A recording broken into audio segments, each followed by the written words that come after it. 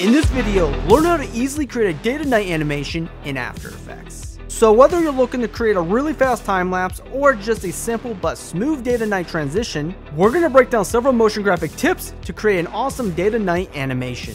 Let's get started. Okay, like anything that has to do with 2D animation or vector graphics, the success of your project is completely dependent on the setup of your scene.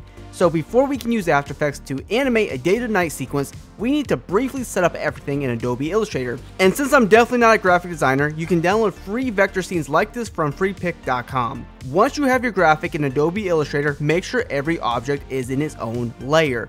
So I'm not going to spend too much time here in Illustrator, so if you want to learn more about the Illustrator to After Effects workflow, be sure to check out my tutorial on this link below. So the first important day to night tip here is to create unique elements that will only appear during one of the cycles. For example, I already have my sun, so I will quickly create a moon and some stars.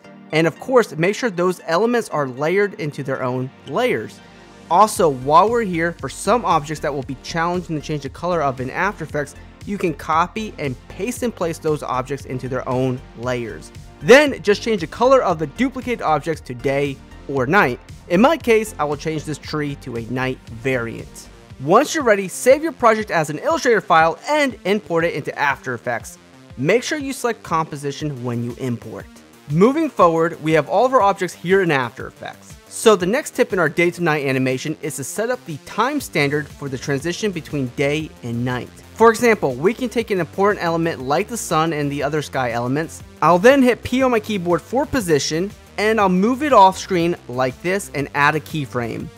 Then we'll move forward by 12 frames or half a second and animate it back on screen.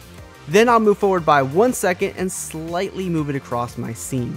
Lastly, we'll move forward by 12 more frames and animate it off screen on the other side. And most importantly, we'll move forward by one more second and add a keyframe. So now we can alt click the stopwatch for position and type loop out open close parenthesis. This will loop our sun elements forever, and now we have the standard of time for our scene loop.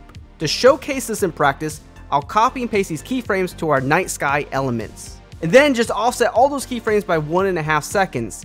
And of course, make sure the loop out expression is applied.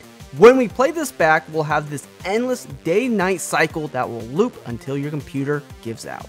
The next obvious tip is all about color changing. There are many options here as you can use a number of coloring effects. One of these effects we can use is color balance, and I'll apply it to one of my trees. Since the transition to night starts at 1 second and 12 frames, I'll add a keyframe for hue and lightness. And I'm literally just following the keyframes we made for the night sky. But you can change the hue and lower the brightness until you're happy with the color change. Then just move forward and set the keyframes to transition the element back to its original colors. And most importantly, make sure you set a final keyframe one second past the initial group of keyframes for the loop out expression to work correctly. And of course, apply the loop out expression to both animated properties.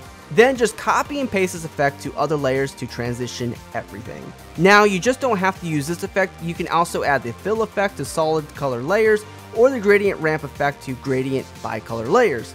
Then just animate the color like we did with the color balance effect. Sometimes adding color effects just won't work well, so that's why it's acceptable to create a night variant in Illustrator and make sure that they are imported into your project. Then just animate the opacity to fade them up and out to follow your day to night cycle.